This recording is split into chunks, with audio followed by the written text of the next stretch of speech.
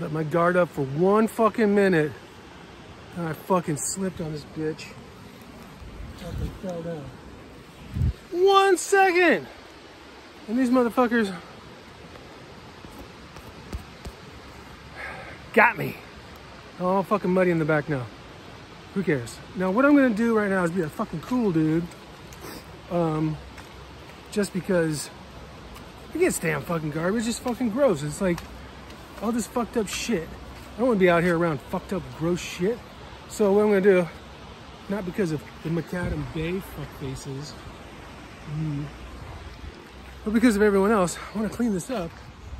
Yeah, see, this is that fucking guy came down here and bent that fucking. Uh, I know broom so I couldn't fucking use it. And then he kicked all this shit all over. How do I know I did, he did that? Because he's the only one who would fucking do that.